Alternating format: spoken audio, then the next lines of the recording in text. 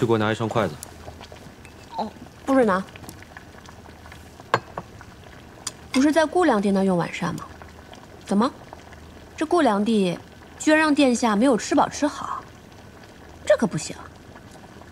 桃子，去传顾良娣来，我要问问他，是怎么侍候太子殿下的。是。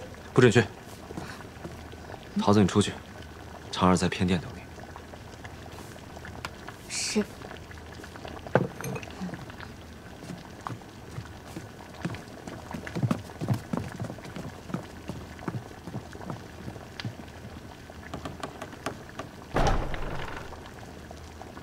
殿下这是怎么了？就算是顾良娣没有侍奉好殿下，难道我还问不得了？我还要问问你为什么要生气呢？是因为我去顾良娣那儿用了晚膳呢，还是我回来太晚了呢？生气？殿下为什么会觉得我在生气啊？你如果没生气，你为什么要找顾良娣的麻烦，还要传她过来问话？殿下这是忘记了吧？我是太子妃，在这东宫里面，良娣没有侍候好殿下。当然应该由我这个太子妃来过问了。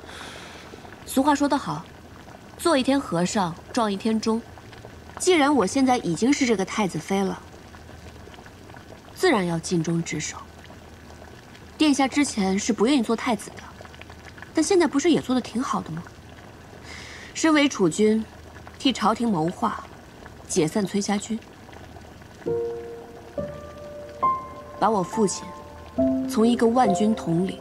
变成一个颓唐的老人，不就是为了消弭朝廷所担忧的藩镇之祸吗？阿英，我也是迫不得已。你回去吧，我要休息了。我回哪里去？这里是承鸾殿，就像你说的，做一天和尚撞一天钟。你已经是太子妃，就应该尽忠职守。殿下有自己的寝殿，之前不过是新婚之时，在我这睡了几晚地板，做做样子而已，何必呢？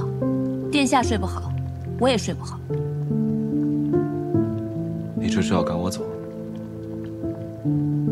对，我就是要赶你走。我就不，我不但就不走，我还要在这睡下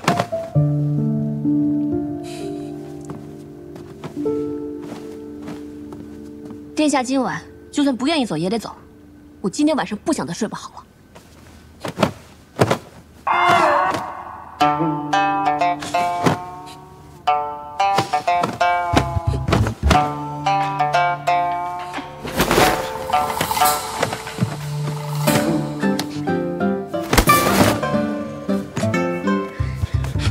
还想用这招？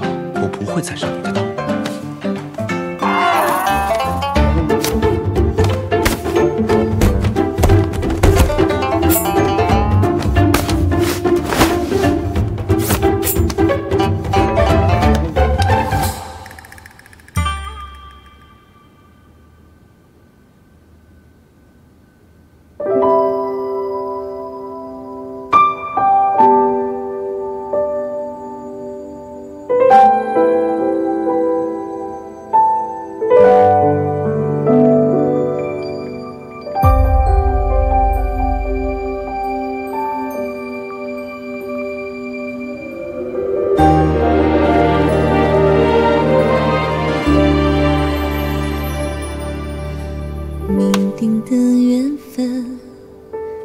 虚伪的身份，无尽的安然，想逃离这纷争。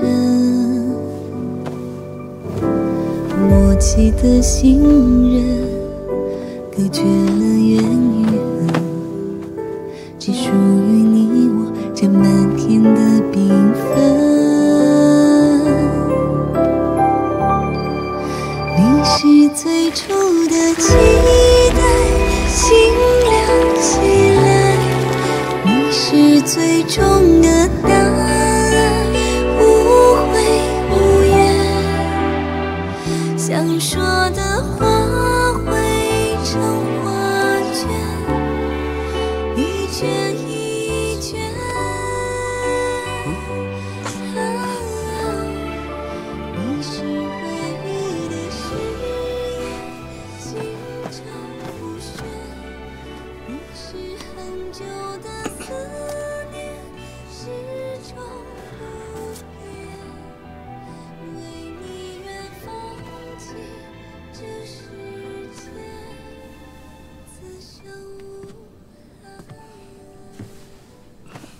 殿下醒了。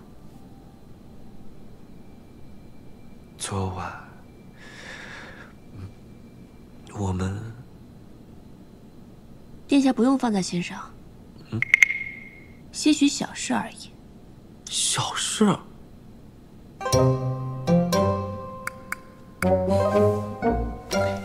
我就照实跟殿下说吧。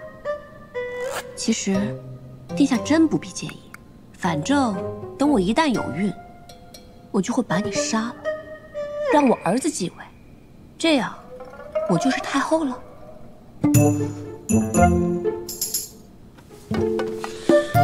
怎么，殿下又觉得自己上当受骗了？但你也没吃亏啊。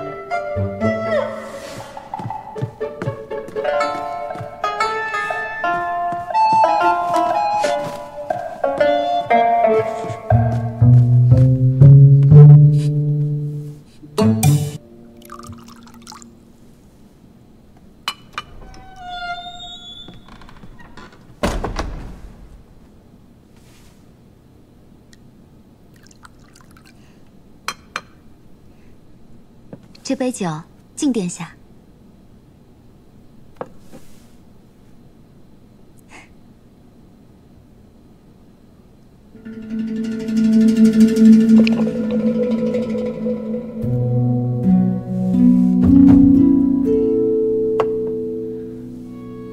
这酒烈得很，你不要再饮了。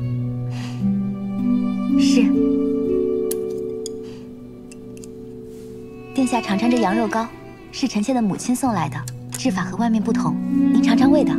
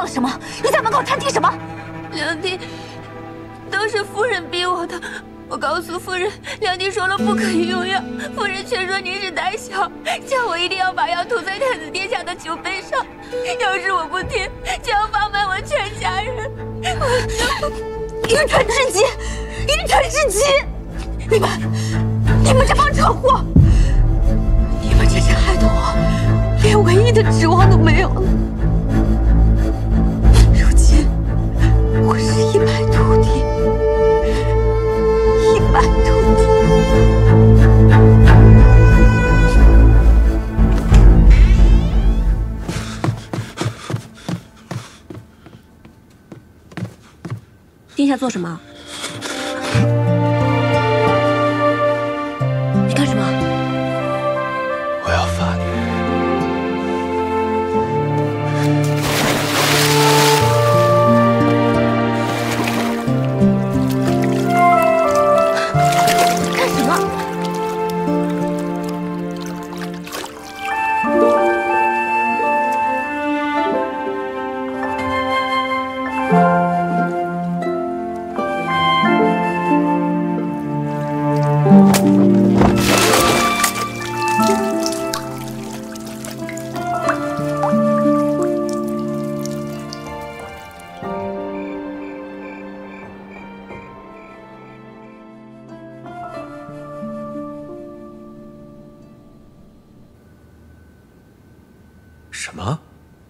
竟有此事！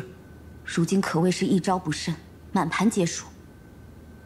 眼下，太子是绝无可能再来我这留香殿了。唉，夫人真是糊涂啊！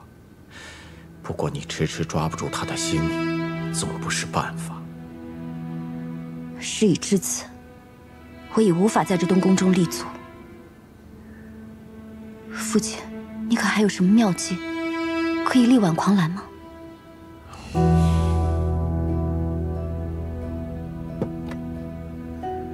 为今之计，只有釜底抽薪了。父亲的意思是，太子妃锋芒太盛，可惜这世上月盈则亏，水满则溢。万一天年不测，他突然间死了，太子殿下纵然是伤心一时，也是无力回天呐。很好，只要这件事和我们顾家无关，那就快些让太子妃天年不测吧。